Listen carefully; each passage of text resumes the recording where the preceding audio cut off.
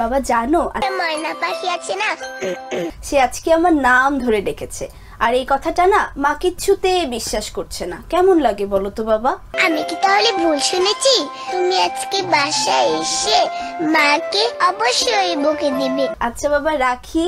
তুমি তাড়াতাড়ি চলে এসো কিন্তু। মেয়েটা অত্যন্ত ট্যালেন্ট একটা মেয়ে।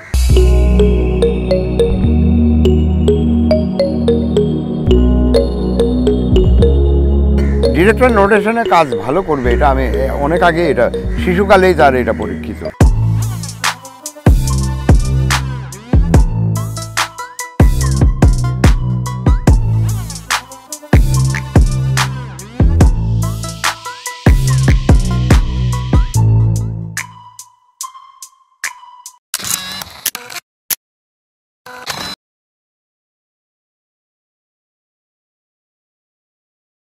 তো এখন চিত্রনায়িকা হিসেবে আমরা তো সামনে পাচ্ছি। না, এটা আমি এখন কনফিডেন্স আমার একটা জায়গায় আছে যে মেধা ট্যালেন্ট ট্যালেন্ট ট্যালেন্ট মেয়েটা অত্যন্ত ট্যালেন্ট একটা মেয়ে।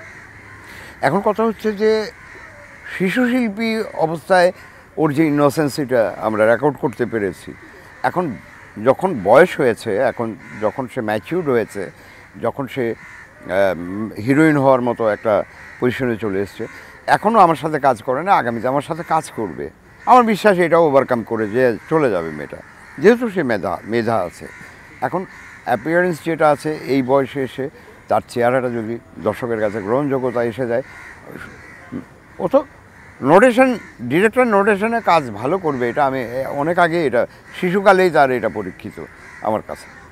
এখন হিরোইন হিসাবে তো আরও প্রচুর তার সম্ভাবনার দিক আছে। এগুলো নিয়ে ও কাজ করলে আমার মনে হয় ও ভালো করবে। এত দ্রুত তাকে আসাটা আপনার কাছে একটু না না এটা তো অ্যাকচুয়াল বয়স হয়েছে। এখন এই এইজে যে সমস্ত চরিত্র এখন মেকারদেরও বুঝতে হবে যে দিঘির বর্তমান এইজ এবং অ্যাপিয়ারেন্স মিলে কোন বয়সের নায়িকা করা করা যাবে কোন সাবজেক্ট করতে হবে ওইভাবে। এদেরকে নিয়ে এখন টিনেজার ছবি বানাতে হবে। আমি গল্প এইভাবে চিন্তাভাবনা করে আগাচ্ছি। যেমন আমি শান্ত শান্ত আমার জন্য একটা চ্যালেঞ্জ সেলিম ভাই আমার খুব কাছের মানুষ এটা অত্যন্ত ভালো মনের একজন মানুষ। উনি অসংখ্য ছবি অনেক অনেক টাকা ইনভেস্ট করেছে ফিল্মে ইদানিংকালে একটা মেন্টালিটি তার শো হয়েছে, সেটা হচ্ছে যে মেধা সম্পন্ন পরিচালকগুলোকে আমি আমার ঘরে নিয়ে আসব। এরা বসে থাকবে না, এরা ছবি বানাবে। লাভ লস কী হবে এটা পরের ব্যাপার, কিন্তু এই যে একটা বড় সহযোগিতা করা ইন্ডাস্ট্রিকে এবং ট্যালেন্ট মেধা সম্পন্ন ডাইরেক্টরদের উনি কাজের ভিতরে ব্যস্ত রাখা, এই যে তার যে একটা প্ল্যানিং এটা অ্যাপ্রিসিয়েট করে। তারই ছেলে শান্ত। আমাকে উনি বলেছে যে, শান্ত সম্পর্কে আপনার আমি বলছি, দেখেন, ও একটা অত্যন্ত ভালো একটা ছেলে। ওর ইনোসেন্সি আছে। ইতিমধ্যে অনেক অভিজ্ঞতা সঞ্চয়ও করে ফেলেছে, কিছু কাজ করেছে সে। আমার বিশ্বাস, ওর বর্তমানে এই যে, এবং ওর যা অ্যাপিয়ারেন্স এটার উপরে যদি ভালো গল্প হয় চিন্তা করতে হবে ওর কোন এজে আছে এবং কোন এক্সপ্রেশনটা সে কারেক্ট করতে পারবে। ওই নোটেশনের উপরে গল্প করে ও আস্তে আস্তে স্ক্রিনে একটা বড় জায়গা নিয়ে নেবে। আর কী কারণে বলি, আমি তো বানাবই। কাজিয়ার সাহেব ছবি বানাচ্ছে, মালেক আফসারি বানাচ্ছে, তারপরে শাহিন বা, শাহিন তো ওকে নিয়ে অনেক কাজ করতেছে। তারপরে যে আমাদের শাহ আলম কিরণ সাহেব বানাচ্ছে। তো অনেকেই তো বানাচ্ছে। অনেক মেধা সম্পন্ন তো পরিচালকরা। মানে ছোটবেলা থেকে ইয়ে করছেন মানে ওই জায়গা থেকে এমনটা হওয়ার উচিত ছিল না? প্রথম সিনেমাটা আসছে চিত্রনায়িকা হিসেবে যেহেতু আসছে প্রথম সিনেমাটা আপনার আপনার দিয়ে শুরু হয় না এটা এটা এটা এটা এটা এখন হয় কি ও যখন কাজের দিকে এই বয়সের ছবিগুলো করতে চাচ্ছে আমরা আমি তো বললাম আমার সিদ্ধান্ত নেওয়ারও একটা সময় অনেক লম্বা হয়ে গেছে। এখন ও অত বসে থাকবে না ও কাজ করুক। আমার কথা হচ্ছে যে শিশু বয়সে যেই কাজটা করেছে সেটা তো আমার সাথে করেছে। এখন এই বয়সে এসে ওর তো একটা প্রিপারেশন নিতে হয়েছে। এখন যে সে যে ক্যামেরার সামনে কাজ করছে কিংবা আগামীতে তার ছবিগুলো রিলিজ হবে, তো ও তার ওর দায়িত্ব, ওর নিজের নিজের দায়িত্ব নিজেকেই নিতে হচ্ছে। এই যে বিষয়টা। তারপরে এখন এই যারা মেজর অনেক উঁচু মানের পরিচালকরা তাকে নিয়ে কাজ করবে, এই চার পাঁচজনের কাছে চার পাঁচ রকম একটা বিষয় পাবে। এখান থেকে কারেকশনগুলো তো অবশ্যই হয়ে যাবে। একটা বছরের ভিতরে এই দুইটা ছেলে মেয়ে একটা ভালো জায়গায় যাবে এটা আমি নিশ্চিত। কারণ ওরা কারেকশন করতে পারবে। ওরা প্রতি মাসেই এখন শুটিংয়ে যাচ্ছে। প্রতি মাসেই একজন নতুন পরিচালকের কাজ করতে পারতেছে।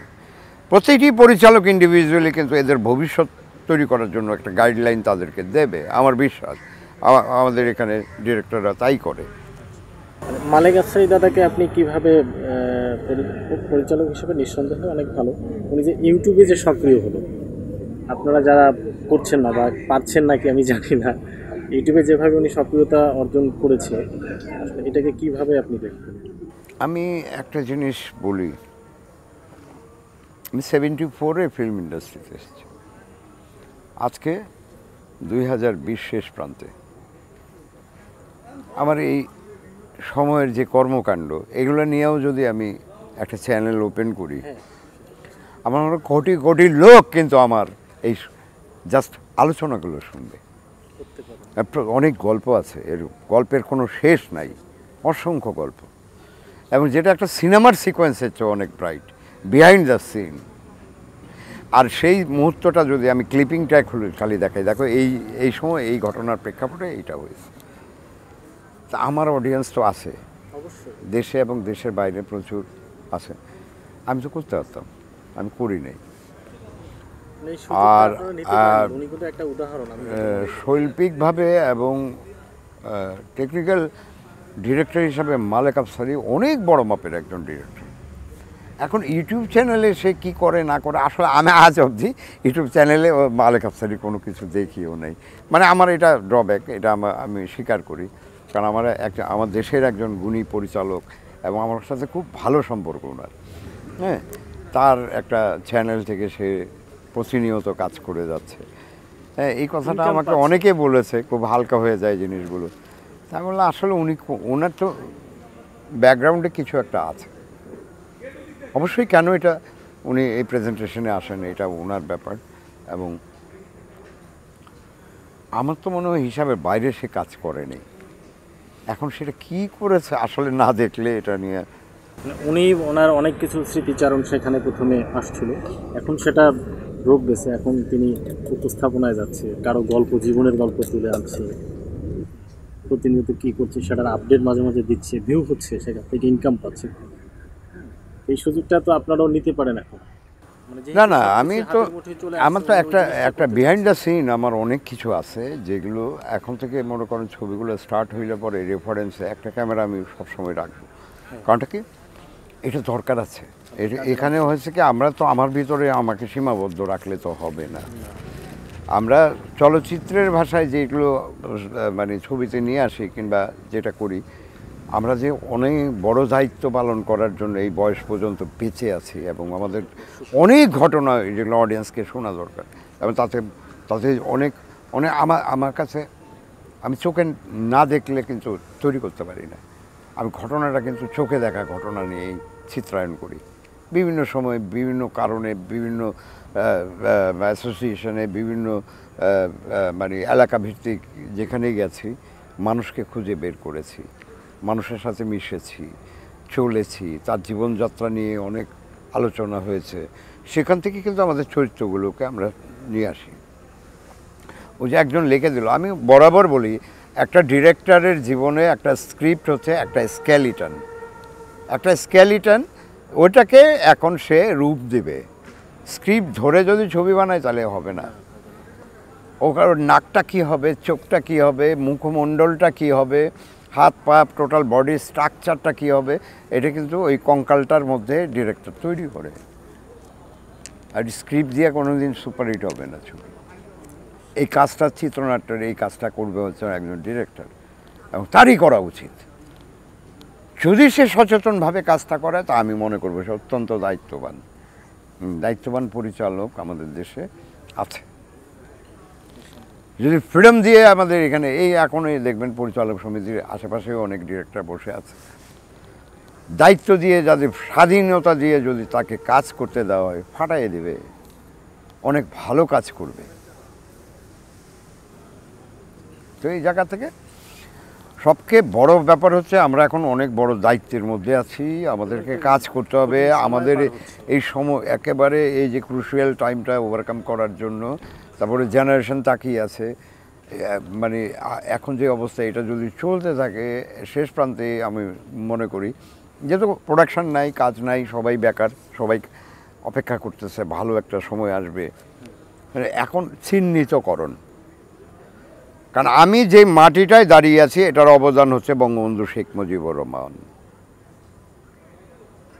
এদেশে টুকটাক কাজ হচ্ছে এখান থেকে অনেকেই প্রতিবাদর লোক ওয়েস্ট পাকিস্তানে গিয়ে কাজ করছিল বিভিন্ন সময়ে, বিভিন্ন ছবিতে, বিভিন্ন বিখ্যাত পরিচালকদের সাথে।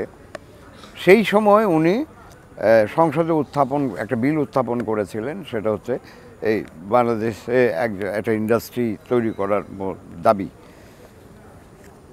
ওখানে অনেক সাংসদরা তখন বলেছে যে, না, ওখানে কোনো ট্যালেন্ট নাই, ওখানে কোনো ক্লাইমেট নাই, ওখানে স্টুডিও করার মতো কোনো রকম পরিবেশ নাই হ্যাঁ উনি কিন্তু চোখে আঙ্গুল দিয়ে বুঝিয়ে দিয়েছে যে এই হচ্ছে আমাদের প্রতিভা, এই হচ্ছে আমাদের টোটাল এবং সেখান থেকে পাস করায় নিয়ে এই চলচ্চিত্রের একটা ইন্ডাস্ট্রির জন্ম দিয়েছে।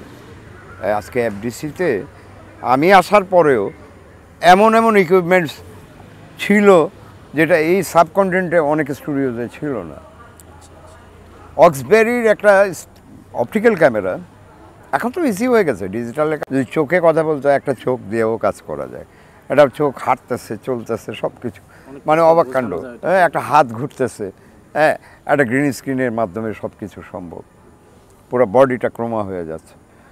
তো আমরা তো তখন অনেক কঠিনভাবে এই কাজগুলো করতে হয়েছে। আমি একটা সেম ফ্রেমে একটা অপটিক্যাল অ্যানিমেশনের কাজ করার জন্য বোম্বেতে একটা স্টুডিওতে গেছিলাম বান্দাতে গিমিক্স ওরা অবাক হয়ে গেল যে এই ছোট্ট একটা কাজ নিয়ে আপনি ঢাকা থেকে চলে এসেছেন। কোনো আপনাদের এখানে অপটিক্যাল ক্যামেরা আছে? কি ক্যামেরা অক্সবেরির বলেন কি আপনি। সারা ভারতে একটা অক্সবেরির ক্যামেরা নাই। আপনি ওইটা ফেলে এখানে কেন আসছেন?